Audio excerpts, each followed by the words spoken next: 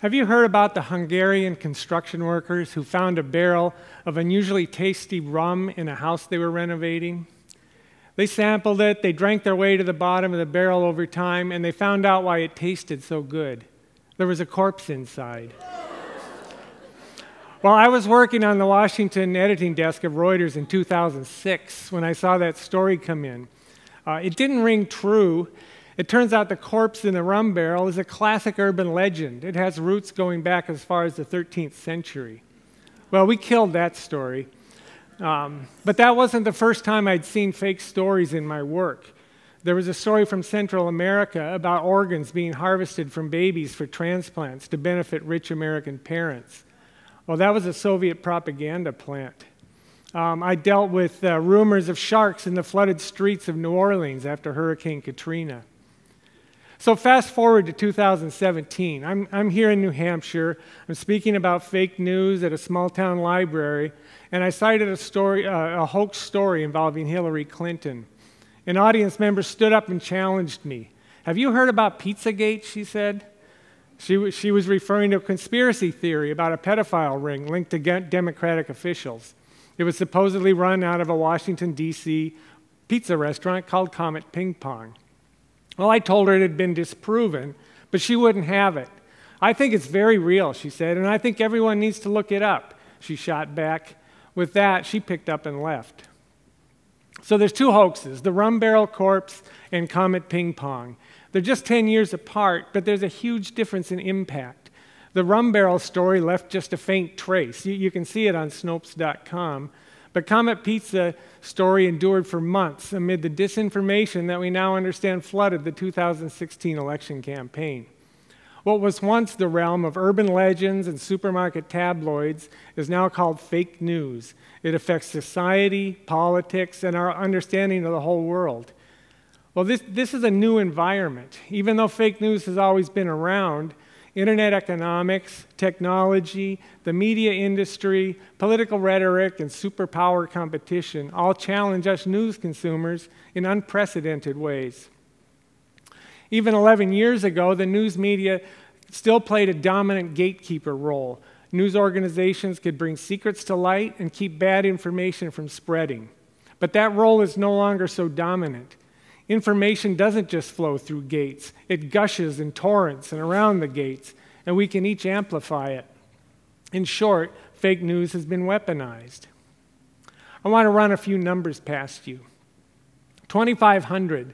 That's how many dollars a fake news producer in Macedonia said he can earn in a day.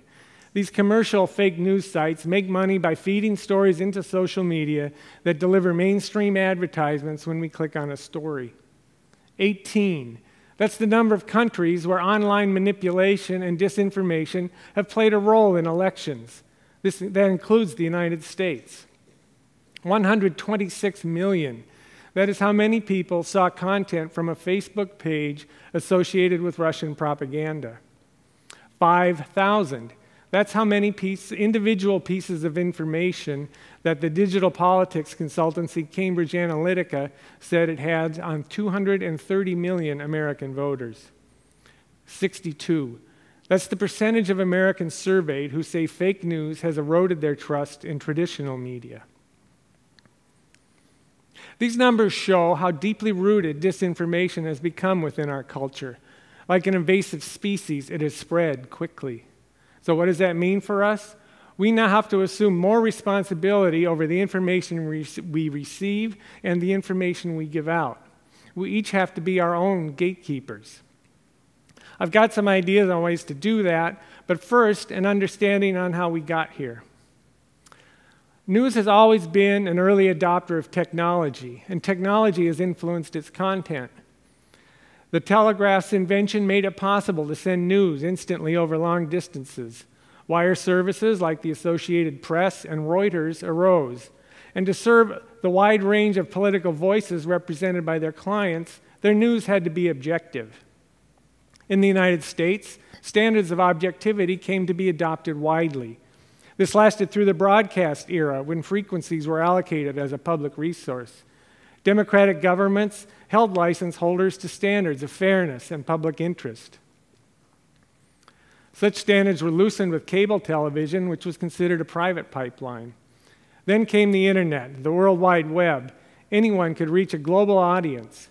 Attention flowed to the most strident voices, and new advertising technology allowed any website to reap payments from major advertisers whenever we click on a page. The ads we see are determined by the information the internet companies have about us. And now, social media. Billions of users interact within self defined networks. Each of us gives up thousands of pieces of information about ourselves that give a little clue about what information we might most hungrily take up and amplify. So, in a mass communication environment with limited outlets, each outlet acted as a powerful gatekeeper. Journalists, grounded in professional standards, had unique access and could decide what was important to convey. Yes, some news organizations abused their power, but there was a familiarity and a respect between the news media and the public that is no longer assumed. So here's a small example of how us journalists can perform as gatekeepers. As a White House reporter, I was part of the small press pool that accompanied the president whenever he left the grounds or made a public appearance in the building.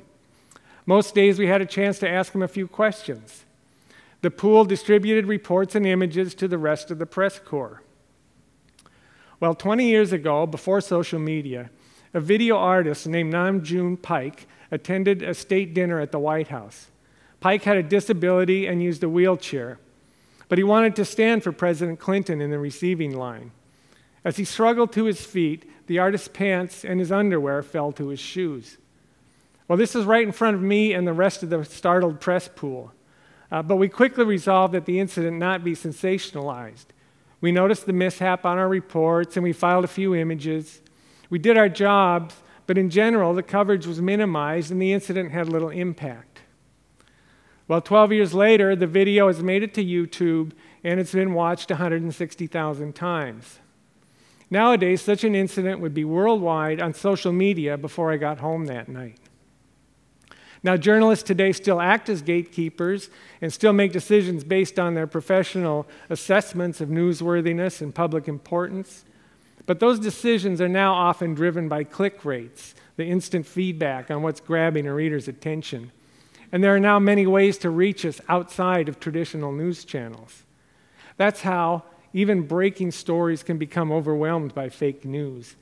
If you happened to Google the Las Vegas shooter when police released his name, you would have seen instant phony stories claiming he was linked to Islamic State or that he was an anti Trump liberal.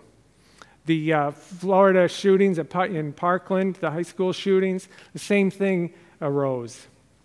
Well, if producers of such disinformation have access to thousands of bits of data about each one of us, you've got a recipe for laser guided political propaganda. Russian propagandists have set up Facebook pages on topics such as immigration and race relations that inflame divisions among voters. They've organized U.S. political rallies via social media and purchased political ads targeted to individual voters based on their predicted sympathies. So, when the walls are besieged, how can we be our own information gatekeepers? Well, as news consumers, we have to set limits and be selective in our media diets.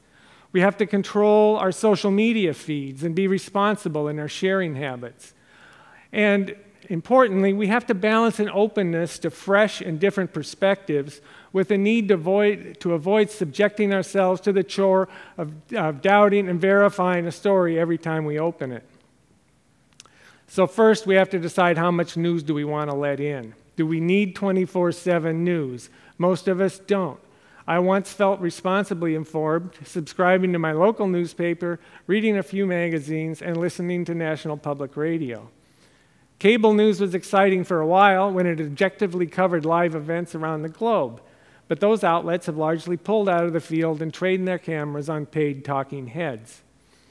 Well, if we're on social media, we end up getting news 24 7 anyway, but we can still set limits. Managing a social media account is like tending a garden, and that's a chore. I won't be technical, but we can prune away sources that have proven unreliable or unproductive. We can welcome reliable outlets in through the gates. That includes paying for quality journalism. And don't forget local news. The Washington Post's new slogan, Democracy Dies in Darkness, is especially relevant at the local level, where the ranks of journalists are being slashed and local institutions are left unwatched. We can also maintain an open mind. We can favor information that supports our values and enriches our worldview. But we also need to subject that view to tests of reasoning and new information, and to understand that arguments, the arguments of those who differ. Much like eyesight, knowledge requires multiple perspectives to be seen in three dimensions. By now, there are a lot of good guides to evaluating news stories and spotting fake news. They tend to focus on three big themes. The first is knowing who, who is publishing or broadcasting the story. The second is evaluating the story for internal logic and credible evidence. And the third is understanding the context. How are other outlets portraying the same information? I watch out for emotion.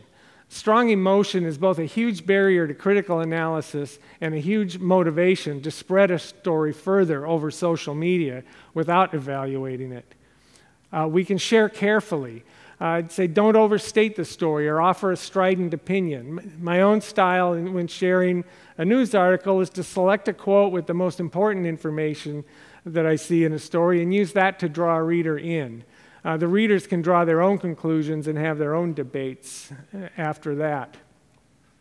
We also need to decide what it is we want to share about ourselves. What we like, what we follow, what we share, what we buy, all help target messages to us. Uh, the platforms have begun trying to make it easier for us to know and control what we're sharing, and we have a duty to understand what it is we're turning over about ourselves and how to limit it. There are also technological solutions. The company I work for has developed a tool that can spot emergent stories on Twitter. It uses algorithms to evaluate whether they come from credible sources. Other services have sprouted up to rate the credibility of news organizations. Fact checking sites verify individual articles. Is regulation an answer? Uh, well, that idea is gaining currency. Sir Tim Berners Lee, who, who created the World Wide Web in 1989, has endorsed regulation. He urges limits to what he calls a dangerous concentration of power over opinion and ideas. The European Union has implemented strict new rules that give people more control over the information about themselves. Congress started wrestling with the issue when Facebook's Mark Zuckerberg testified and acknowledged that regulation was inevitable. Well, most of the talk has been about privacy rules, and there's been less about fighting fake news.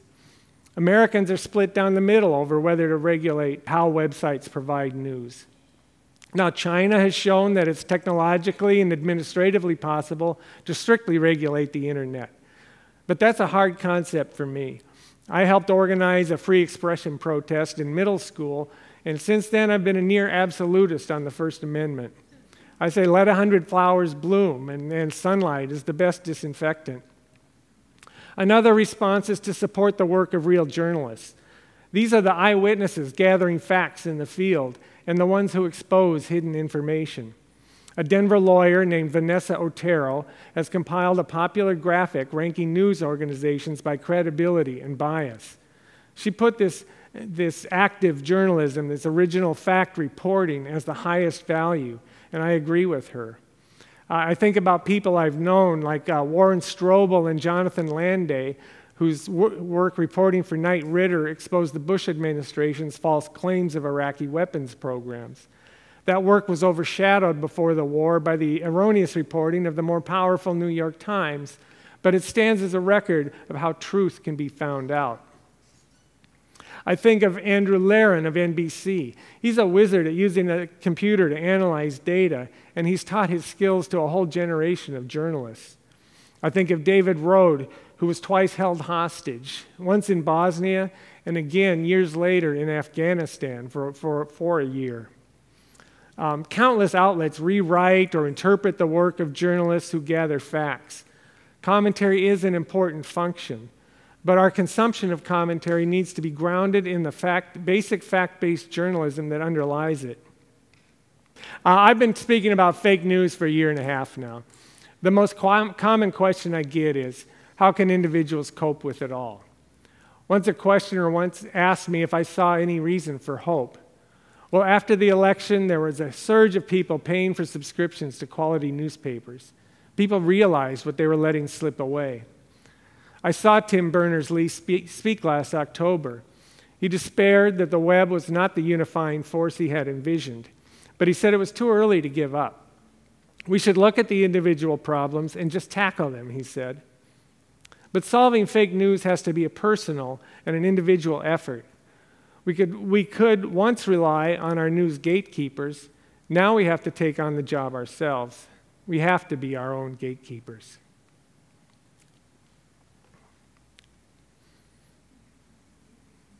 Thank you.